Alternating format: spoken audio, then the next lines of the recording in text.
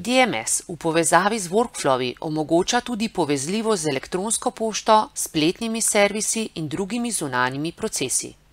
Poglejmo si primer prevzema elektronske pošte v DMS.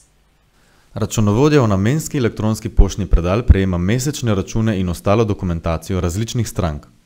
Ni več potrebno shranjevati prilog elektronske pošte, se mučiti z njihovim tiskanjem in vlaganjem v fascikle, od tam pa z ročnim knjiženjem. Panteonov strežnik za avtomatizacijo požene poslovni proces, ki poskrbi, da se vsebina e-pošte ter vsi pripeti dokumenti prenesejo v DMS v ustrezno bazo njenega klienta. V nastavitvah tega poslovnega procesa je določeno, da se vsa elektronska pošta prevzema iz njenega namenskega poštnega nabiralnika in se ustrezno klasificira v dokumentaciji.